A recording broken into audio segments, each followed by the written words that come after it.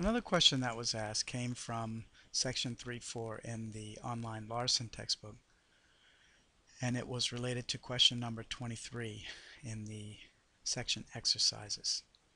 23 says f of x is equal to secant of x minus pi over 2 on the open interval from 0 to 4 pi. So again to find the points of inflection we're going to need to find the first and the second derivative here. Now this is a little bit of a messy function here so let's see what we get.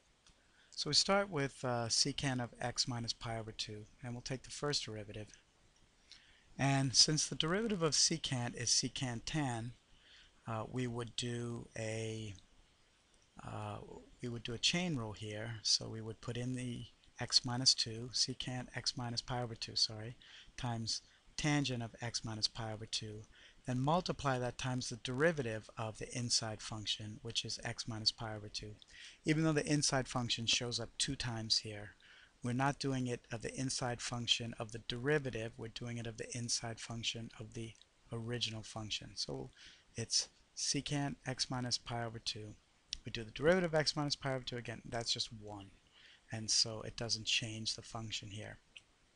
Now the second derivative we're going to have to use a product rule.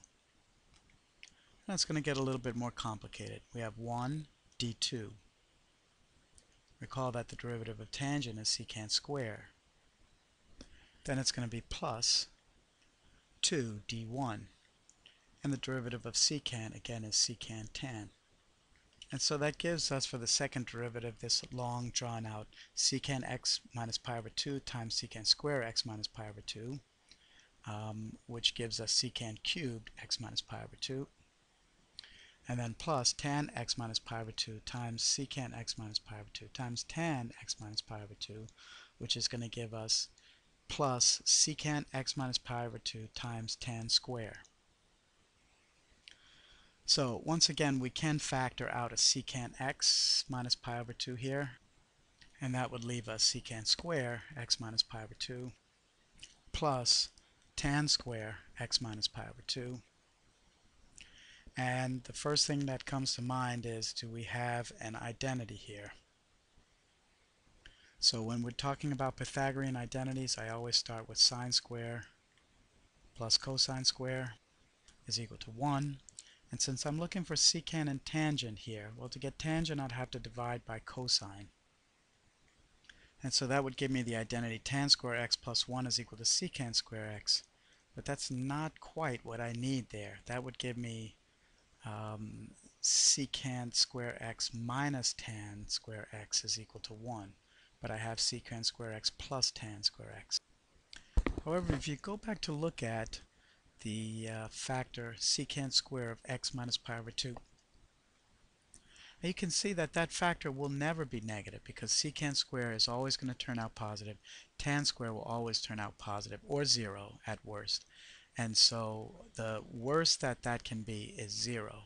Uh, but possibly secant square and tangent will not both be 0 at the same time. Anyway, the only place where this can be um, negative or change sign is when secant of x minus pi over 2 is equal to 0. But furthermore, secant can never be 0 because secant is 1 over cosine and a rational function will be 0 when its numerator is 0. The numerator is always 1, so none of those values will be 0. That is for secant. Tangent can be 0 but the factor secant square x minus 2 plus tan square x minus 2 will never be 0 either. However, we will have in there some vertical asymptotes for sure. Whenever secant of x, whenever cosine of x minus pi over 2 is 0, we'll have, uh, we're going to have some vertical asymptotes. But since secant of x minus pi over 2 is the original function also, when that is uh, undefined, then there is no points at that place to have a point of inflection. So even though concavity changes, there are no points of inflection here.